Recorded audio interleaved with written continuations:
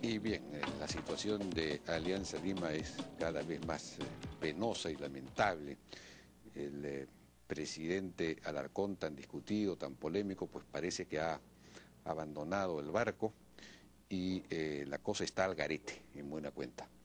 Estamos con Osvaldo Carpio para conversar acerca de esta situación, quien es dirigente depuesto por Alarcón, precisamente dirigente de Alianza Lima. Osvaldo, ¿cómo está? Buenas noches, ¿qué tal? Buenas noches, bueno, eh, para comenzar, eh, eh, este señor Alarcón que ha abandonado el barco, en este momento Alianza Lima efectivamente está al garete, ¿qué está, pasando? Está al garete, en este momento ya Alarcón terminó estatutariamente su periodo como presidente. Bueno, pero eso no significa nada. Ah, para ellos que no respetan en absoluto la ley porque ellos hicieron una interpretación auténtica, de verdad, eso no es una broma, y se quedaba hasta el 2013. Pero con el decreto de urgencia, ellos están, su directiva además desapareció, porque todos los directivos incondicionales que se incorporaron, o a los cuales él incorporó, cooptó, el método comunista, ese famoso leninista de la cooptación. El PRI, el PRI, el PRI, el PRI ¿no? Pero eso viene del, partido de Lenin, ¿no? Lenin era el, teórico de la cooptación. En, un, inicio, ¿no? Pero ya el régimen, ah, el régimen soviético ya no necesitaba cooptar, simplemente... asesinaba y ponía.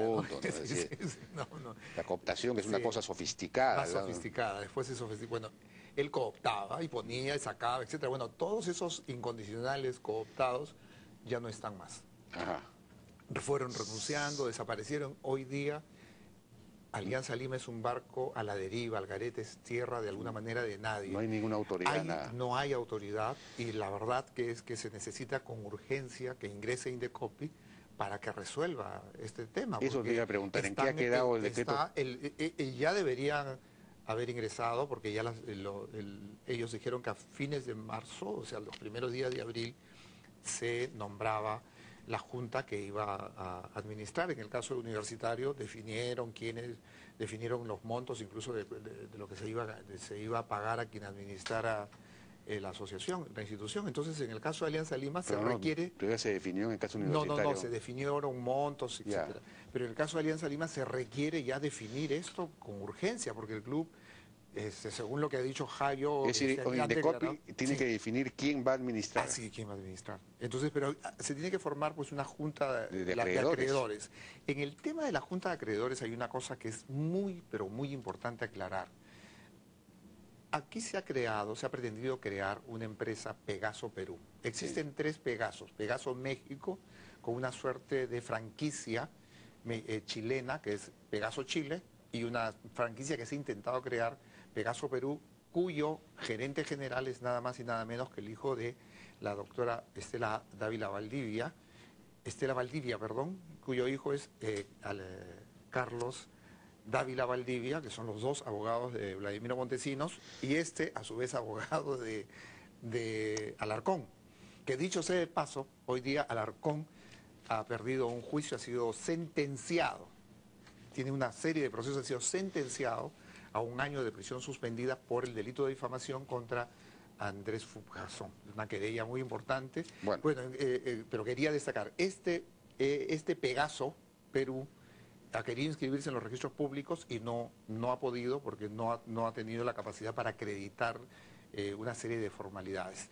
En el caso de Pegaso, Pegaso Chile, Pegaso Chile es una entidad aventurera que ha visto al Perú como una oportunidad de negocio, se ha asociado con Alarcón y con este individuo, abogado, socio de Alarcón, eh, Dávila Valdivia, para tratar de apoderarse de Alianza. Han estado eh, Alarcón fabricando facturas, fabricando deudas, con el fin de que, de que estos se incorporen a la Junta de Acreedores. Y de otro lado, tenemos la información de que Pegaso México, Pegaso México, no quiere entrar a este asunto, a este negocio, porque lo ve turbio, no lo ve consistente, considera que no existen las condiciones, que Alarcón no es una persona de confianza. Y Alarcón en este caso está buscando, está buscando que eh, un honorario de éxito, un bono de éxito, si él logra que Pegaso Chile se quede con Alianza Lima, entonces eh, por 30 años, además esa es la idea, él se habría acreedor a un honorario de éxito. Toda esta información viene de la triangulación con Pegaso México, que no quiere eh, meterse en este asunto. Ahora, Los eh, socios eh, que están en este momento buscando una solución ya están concertados, es un grupo de He socios. que hay un grupo de socios, eh, empresarios están buscando ampliar las alianzas, o sea, Alianza Lima busca alianzas, alianzas una alianza empresarial que tiene por objetivo hacer de la institución una entidad seria, transparente, competitiva. Tú me dijiste en la última conversación. Pero debería convertirse pues en sociedad anónima. exacto, es la tendencia moderna cuando hablamos de competitividad. Si, se convierte en sociedad anónima, yo compro por lo menos una acción. por lo menos una acción.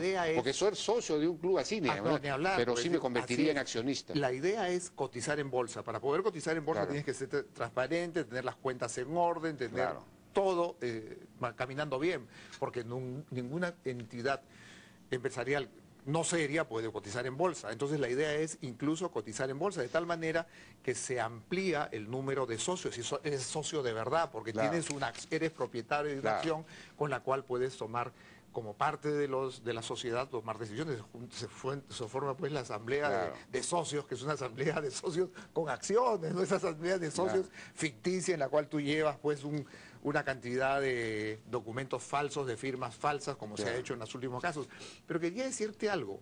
Tú dijiste que, que no era un negocio este ser eh, el, fútbol, peruano. Este Pero mira cómo te voy a presentar en exclusividad el contrato de Gustavo Costas el contrato lo tengo acá, tengo varios contratos, voy a poner un ejemplo, un ejemplo concreto. Gustavo Costas firma un contrato por dos años, del año 2010-2011. Cobraba 72 ah, mil dólares eh, en dos años por este, honorarios, 480 mil dólares en dos años por eh, bonos, 60 mil dólares por bonificación extraordinaria, 36 mil dólares por un departamento, un automóvil más pasajes aéreos. Todo eso sumaba en dos años 648 mil dólares, más de 2 millones de soles. Un millón de soles al año ganaba Gustavo Costas el año 2010 y 2011. Eso no es negocio pagarle a una persona. ¿Quién gana en el Perú un millón de soles al año?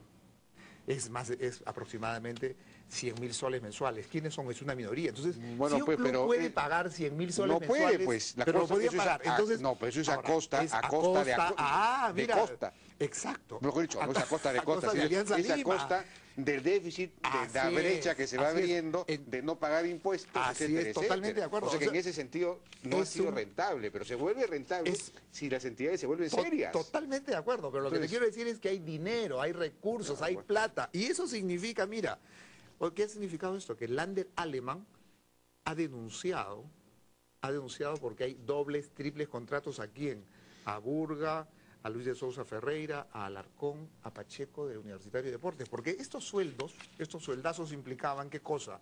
que hay dobles, triples contratos, repartijas. Entonces el fútbol peruano sí tiene soluciones y este grupo de Alianza Lima, este grupo de Alianza Lima va a buscar soluciones, va a hacer del club un club competitivo, ya le han pagado tres meses de sueldo a los trabajadores. ¿Quiénes están dirigiendo Todavía no quieren dar nombres, pues son los ex, están dentro de eso. gente honorable. gente honorable, empresarios conocidos, que son socios de Alianza Lima. Ojalá, si lo hacen y se lo convierten en sociedad anónima, yo mismo fomentaré que todo el mundo sea y estaremos acá contigo fomentando, promoviendo, y hay salidas, hay soluciones para Alianza Lima, pero eso sí, Indecopi debe entrar, y yo te repito, este, Jaime, los socios, los hinchas y el pueblo aliancista deben tomar cartas en el asunto. No podemos permitir que los estafadores profesionales se mantengan. O sea, se ha abierto una posibilidad y hay que aprovecharla. Eh, Osvaldo Carpio, muchas gracias. Muchas gracias a ti. Dios le oiga. Vamos a una pausa, regresamos ahora con Carlo Corno, productor general de CRC Producciones, que ha presentado la semana pasada en Asia un espectáculo de caballos de paso pero también musical y de baile absolutamente extraordinario. Regresamos.